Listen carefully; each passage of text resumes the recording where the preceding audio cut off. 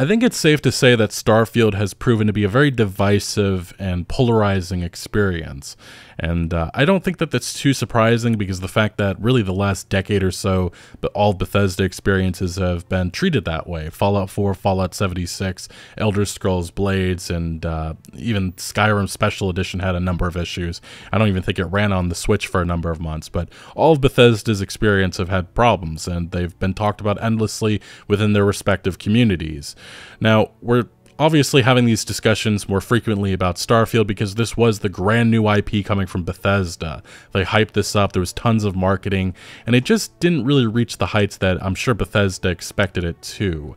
And there's been a lot more criticism with Bethesda's design because a lot of people are starting to realize that this stuff is just starting to age extremely poorly. And I explored some of this in my recent video discussing the lack of progress that Starfield has made over the last number of months, and I've gotten a lot of responses saying, well, look at Cyberpunk, look at, look at No no Man's Sky.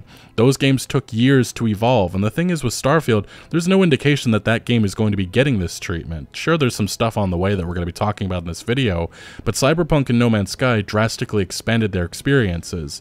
And it also needs to be noted the fact that those games as Foundation, I would argue, is they were in a lot better of a shape compared to Starfield. And I think that does go down to the, the tech that those games are built on. And uh, with Starfield specifically, we had Todd Howard talking about some of the criticism that they've received. And it just makes me to believe that Todd does not understand or fully grasp what people are criticizing. We have this PC Gamer article headline here saying Todd Howard reckons he knows why Starfield was so divisive. It was too different than you've seen from us in the past. And I don't think Starfield is too different. I think it just does things differently that it doesn't work at all.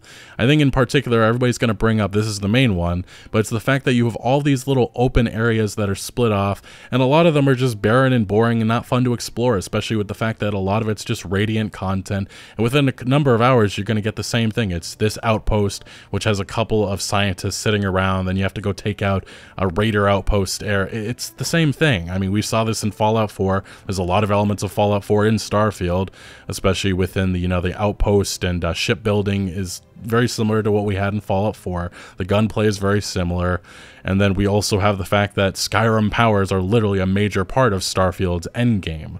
Now, I do want to discuss Todd Howard's remarks because he goes into detail and we'll we'll go over it. Let's go.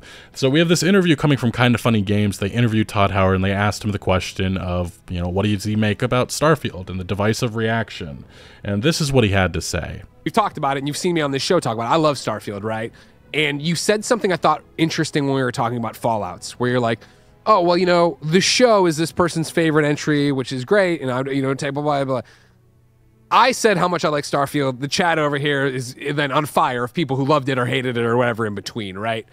My question for you is the reception at launch of Starfield. How does that affect you and the team? Because what I thought was different, uh, different about the lead up to Starfield was that you were all wearing your hearts on your sleeves and saying, "This is the game we've always wanted to make. We are. This is like something that so means so much to us." And so when you get there and you get a game that is then polarizing to this level, what was the takeaway? What was the office like on launch day, review day, all those? Well, there's a few things, um, and thanks for asking. The number one that we're always concerned with is how is the game holding up, right? What's our sure. bug level? What's the crash rate? So first of all, we were over the moon with how kind of um, the the actual data we were getting back and how the game was performing on a technical level. That one to us is always sort of most important on the dev side. Number two was the amount of players. I'll stop there and just point out the fact that while Starfield is probably the most polished Bethesda game to date, it definitely had a lot of issues and a lot of bugs, all of which I documented in my review at the time. Um, Bethesda gets away with this just because of the fact that they are Bethesda and their previous experiences have been absolute nightmares, and Starfield wasn't any bit close to that, but it still was nowhere near the word I would say. Uh, it wasn't really up to par what we with what we see from other game developers, which. Uh, say what you will, but Bethesda, they certainly get a free pass in that regard just because of the fact that the game was, you know, not as broken or it ran mostly kind of set a record for how many players that we had in a game. Obviously, Game Pass is a part of that. Of course. You know. But to see the amount of people playing and like, okay, we've had more players at launch than we've ever had in our careers, and the game is holding up really well. it's a really joyous moment for us, particularly after how long the game took. I mean, that's an achievement in of itself. Of course, yes, Starfield had a lot of players at launch, but if we get into the actual nitty gritty, well, I mean, Starfield has about 3,400 players. This game was built to be something that people played for years to come, and the interest is not there. Again, maybe that changes with the content to come. And I believe on Steam right now, they actually just launched the new May update, and yeah, right now it's got about under 4,000 players. For what it's worth, Skyrim Special Edition, based on Steam charts, never got under around 9,000 players, and this is just the Special Edition.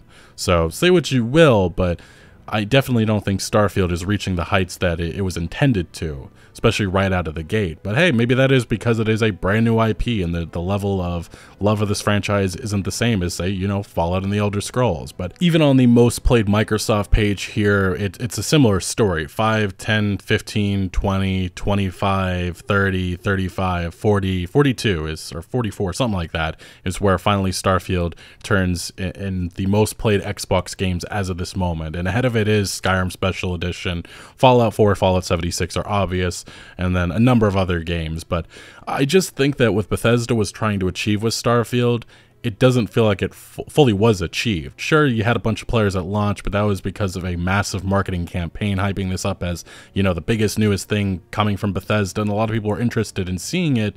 And here we are eight or so months later, and that level of interest in this game has waned drastically.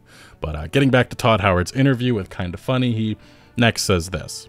On the review side, and we've been through this, so it's not sort of new to us. What's new is, yeah, what's new is it's a new IP, so you know that we're going to be doing some things differently than we've done before.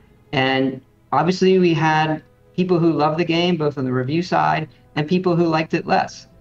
I think the the media, the majority of our reviews were in the 90s, um, which look it. Um, about that one, that one's an interesting point because if you go to like a place like Metacritic right now, that's eh, maybe that was the case with a number of reviews right at launch, but its average right now is around the mid 80s and if you check both platforms it's 85 83 so around the 80s which is i think it's right under what fallout 4 had for review scores. But this is just the critic reviews. And if we actually get into the specifics of you know users it's a much different story. Almost 100000 reviews and only 61% of them are positive. Comparatively Fallout 4's reviews, I believe, are like around 80%, and Fallout 76 even's around 70%. So, yeah, this is the most divided people have been about Bethesda ever with Starfield. But uh, we'll let Todd continue with his remarks, even though uh, 90s is not exactly what that's not how people felt about Starfield. That's great. I don't want to ever be in a, a world where that is not a, a, great place to be in terms of kind of critical reception, particularly in a year where there's so many amazing games out. Sure. But obviously, look. Well, yeah, there's a reason why Starfield didn't really win any more any awards, and the only big award they won was a Troll Award by the Steam Awards, which they celebrated on Twitter. Which I just felt like I, I don't know why they're doing that, but yeah, they lost out to Baldur's Gate 3. That was the big game that took the thunder from everybody. But we see the feedback. We see a lot of players saying, "This is what I want out of a Bethesda game." Um, which is to explore a world in a certain way. And Starfield didn't give me that. Um, I prefer the way it's done in Fallout or Elder Scrolls, and perfectly understandable, right? In terms of, hey, this is this is a different experience. And that, that's the incorrect takeaway, though, that Todd's making here. It's I'll let him continue with his remark, but that's incorrect. I do think, you know, for us, particularly me, going into a science fiction game, I want to be able to land on all the planets. I want the game to say yes to us. No. And that's fine, but the issue is that there has to be, you know, actual planets that have tons of enjoyable content and make you want to go to that location. That's the difference between, like, say, Fallout 4's The Commonwealth or Skyrim. Uh, those locations are iconic. There's tons of places within the hubs and the, the open areas to explore to find really cool discoveries and such. And Starfield, it's just too too spread out and there's so much nonsense within the way. It's just a lot of stuff to just you land on the space rock. There's nothing there except the same radiant content that you've seen on space rock 103 or whatever. And then even when you get to new atlantis or neon there's just not much there in way of you know interesting discoveries to find. So yeah i think exploration with this game is nowhere near the quality of what we've seen with starfield. I mean with fallout 4 and skyrim because of the fact that everything's so spread far apart. And then the fact that there's tons of loading screens in way of all of that, it just makes things even less immersive, which I think a lot of people do appreciate with past, past uh, Bethesda experiences. Knowing that that content is going to be different than you've seen from us in the past when you're exploring a landscape. And that's some of the trade-offs we'll make to do what we think makes, you know, a science fiction game like this that's kind of based in this kind of fiction and reality to make it what it what it should be. And you know, each of the fr- I just I don't feel like that that's an excuse that holds up. Like obviously Starfield wasn't going out of its way to be Mass Effect, obviously, because there's no really intelligent alien species out there. There are aliens out there, but they're not intelligent and they're just beasts. And hey, maybe that changes with Shattered Spaces, but uh I just feel like those games do a lot better of a job with immersing you within these alien worlds, and there's something very something very unique about uh, Mass Effect and what it did. And with Starfield, it's just something that's quickly become forgettable because there's nothing iconic about New Atlantis. There's nothing iconic about Neon. There's nothing iconic about Space Cowboy Place that I can't remember the name of. And that's really the problem with a lot of Starfield is that I can't think of really many of the characters outside of Sarah Morgan, um, the factions, even the history of the factions, the lore, it's just not nothing it doesn't compare to fallout and sky the elder scrolls. And maybe that's something that was always going to be a problem but you know I mean, Bethesda should have known that they have to have some really interesting deep lore for people to get attached to because at this point, again, not many people are interested in seeing more Starfield after Shattered Spaces. I think a lot of people just want to see them get back to Fallout, get back to the Elder Scrolls, and don't change that up for I don't know how many years, but I, I, I just don't think there's interest in Starfield as a franchise because of how uninteresting Starfield is and the background lore that is established here. Franchises should kind of be its own thing. For sure. And so, I mean, that's fair, like, but that's not the case. That, you know, the maps or some other things, gameplay options uh, that we're adding, other display modes on console that people have asked for, and we want to do all that stuff. Take some time, but we're excited to get stuff out there. And that stuff's fine. That is greatly appreciated. I said on Twitter a couple days ago, said that a lot of this is too little, too late, and I still feel it is. I still feel like this type of content should have been added a while ago, but I'm all for it. I just don't know how much further they're going to go than that. Well, like you said, what we got we got more DLC or an update, an update getting announced this week. You said a couple days from now, with some stuff. Uh, yeah, should be. Yep. Okay. Yep. Okay. Good. How imminent is that coming out then? And the content that he's actually talking about has been um, it has been there's a video for it. We can actually go to the beginning of this video. I think it's around this mark. We get our first look at the new city maps. I'm going to mute the audio, but hey, it's city maps. It definitely looks cluttered, but it's I think for, this is a lot of stuff that's going to be great for new players, those who are just starting out with Starfield. Um, for those who have been playing for a while, a lot of this new content really isn't anything to jump in for. Maybe why the Steam charts hasn't blown up yet, but yeah, it, it, definitely is appreciated that you can actually finally now see shops and stuff. This was one of my big gripes early on. I understand those that have hundreds of hours, like, well, I know where everything is, but well, guess what? A lot of people just jumping and are very annoyed with the fact that they have no idea where anything is in this uh, this hub area. And yeah, see, it definitely is something that uh, it's better than what was there, pretty much. And then they also announced new gameplay options here at the 102 mark. I'll go here, which is um, you can customize a lot more of Starfield, which is greatly appreciated. I'll turn down the audio, really but yeah, like you can greatly increase your carry capacity, which was really not that great in the base game, so that's great. Vendor credits can be increased. I love this type of customization for the game. Great to see it. It's awesome that it's here. And they also made it that you can now customize your ship interiors. Again, this is more of a late game activity, but it, it's awesome the fact that This is one of the big things that a lot of people do like about Starfield. The fact that you can customize your ship. And yeah, you can add pretty much anything that you had in your outpost, you can now add inside of your ship. They also made some uh, these these habs empty so you can really customize it completely to your liking, which I, I think it's great. I, I, think this is all great content. I just don't think that this is going to drastically change impressions about Starfield at all. And then one of the big new additions that I will bring up other than yeah they got respec you can respec your character now that's cool and all. But one of the big new additions is the fact that there is now a performance mode. I think the options are 40 frames per second 60 and you can prioritize what you want. performance or visual if they choose to prioritize performance, the target FPS will move to 60. And for players that have TVs that support VRR, they'll be able to choose between. And that's all great. This is all great new content. It's just, again, I don't think it's changing impressions all that much about Starfield right now. And they also announced some new quality of life stuff, but what probably the biggest new addition that's coming or it's in development, who knows when it actually comes, is this. Drive around on planets. Obviously, we're working Okay, well, they teased it pretty much land vehicles. This is something that uh, I feel like it should have been there day one, but they are finally adding in land vehicles.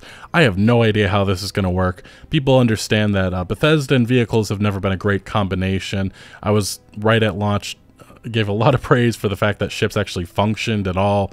Uh, Bethesda's last real land vehicle was, I think, what horses and Skyrim, and my God, that was horrible to uh, experience. So we'll see how this functions, and uh, I'm sure there will be bugs because there always are. Even with this new May update, which I believe is right now in beta on Steam, there has been reported some major bugs with this new content, which is a given. It's not an official release, but uh, Todd Howard has also talked extensively about Shattered Spaces. He did say that the it's going to be arriving in the fall, and then obviously the May update is here.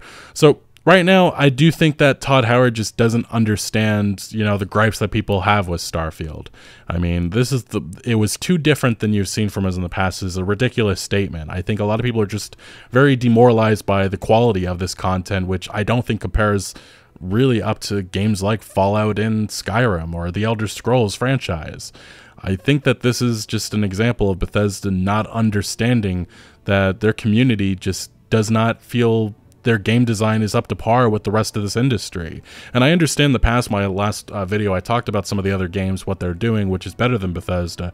I talked about like Cyberpunk with its uh, cutscenes. I think that was a poor wording. I really should have brought up the fact that their animation is just so much better. The facial animations, the movement of the characters is a lot more realistic and a lot more immersive compared to uh, the eyes and the faces of Bethesda characters. And uh, within this update, they actually added, I forgot to mention this, but there is a new dialogue camera option, which is actually very interesting because uh, yeah, so you don't have to be right up against these individuals' faces anymore. You can actually be zoomed out, which actually, again, this is all is nice quality of life stuff. I don't think it's going to drastically change people's view of the game, but it's awesome to see. And I just wonder how much more they're going to build off of this. And also with Shattered Spaces, they teased a little bit of here towards the end of the video. If I can get the, let's see, yeah yeah, I, I have no idea what they're going with this. Hopefully, it's an alien direction because this this franchise definitely needs a spark of interest, uh, especially if this is if people are going to be wanting you know Starfield 2 because right now that that is not there at all. Anyway, what do you make of Todd Howard's remarks? It was certainly something that got a lot of people very upset because of the fact that they don't feel like Todd Howard is properly understanding. Some people think he's just blatantly lying about it, but I don't know. Let me know what you feel about that down in the comment section below. But thank you for watching. Make sure to leave a like if you did enjoy this video or if you found any informative value. Consider subscribing for more videos like this. I'll see you later.